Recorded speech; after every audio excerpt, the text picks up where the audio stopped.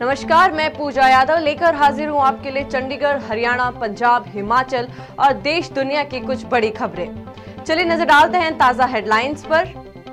चंडीगढ़ के सेक्टर 25 में कोरोना का मामला सामने आने से शहर में कुल केस हुए तीन ट्राई सिटी के लगते खरड़ में 22 वर्षीय युवक कोरोना संक्रमित पाया गया। पंचकुला में मंगलवार को मिले पाँच नए कोरोना पॉजिटिव, सभी दूसरे राज्यों से। अंबाला सेंट्रल जेल में दो कैदियों ने की आत्महत्या। झज्जर पुलिस को मिली बड़ी कामयाबी, बेशकीमती चंदन के तस्कर को किया गिरफ़्तार। हिमाचल में साढ़े पाँच सौ से ऊपर पहुँचा संक्रमितों का आंकड़ा, तीन सौ तिरपन हुए स्वस्थ। चीन नहीं आ रहा धोखा देने से बाज लद्दाख में भारत के तीन सैनिक शहीद। क्या 18 जून से दिल्ली में होगा लॉकडाउन? ये खबर कितनी सच्ची है, बताएँगे विस्तार से। शोपिया में देश के जाबाजों ने तीन आतंकी किए ढेर। अब खबरें विस्तार से। चंडीगढ़ में आए दिन कोरोना के नए मामले सामने आ रहे हैं। मंगलवार सुबह होते ही चंडीगढ़ के सेक्टर 25 स्थित भास्कर कॉलोनी के मकान नंबर 2520 के एक 35 वर्षीय निवासी में कोरोना वायरस पाया गया। व्यक्ति को इलाज के लिए अस्पताल में भर्ती करवा दिया गया है। सूचना मिलते ही उस इलाके को पुलिस द्वारा सील कर दिया गया। खरड़ के लांड्रा रोड स्थित प्राइम सिटी के अपार्टमेंट निवासी 22 वर्षीय युवक संक्रमित पाया गया है। स्वास्थ्य विभाग ने ज्ञान सागर अस्पताल बनूड़ में मरीज़ को भर्ती करवाया है। पुलिस ने आसपास का इलाका सील कर दिया।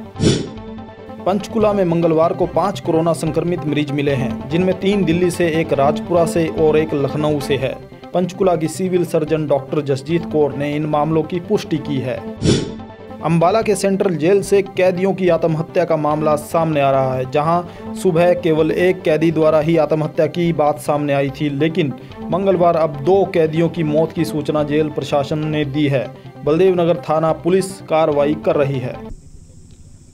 एक कैदी था जो पेरोल पे पहले गया था और उसके बाद दोबारा वापस आ गया था आठ तारीख को, सात और आठ की रात को। और उसके साथ सेम केस में एक और अंडर ट्रायल आया था। और दोनों को क्वारंटाइन ब्लॉक में रखा हुआ था। कि ताकि बाकी कैदियों के साथ मिक्स नहीं होते। तो दोनों ने सुसाइड किया है। तो अभी एक अंदर न्यायिक जाँच चल रही है जुडिशियल इंक्वायरी तो तब तक कुछ भी कहा जाना। झज्जर पुलिस द्वारा तस्करी करके ले जाई जा रही भारी मात्रा में बेशकीमती चंदन की लकड़ी को बरामद किया है। तस्करी करते एक आरोपी को भी गिरफ़्तार किया गया है। पकड़ी गई बेशकीमती चंदन की लकड़ी का वज़न करीब दो टन है, जिसकी कीमत लगभग सत्तर लाख रुपए बताई जा रही है। हिमाचल प्रदेश में कोरोना संक्रमितों का आंकड़ा साढ़े पाँच सौ से ऊपर हो गया है। हालाँकि राहत की बात यह है कि तीन सौ तिरपन संक्रमित लोग कोरोना को मात दे चुके हैं। 24 दिन बाद एक साथ 38 कोरोना संक्रमित पाए गए।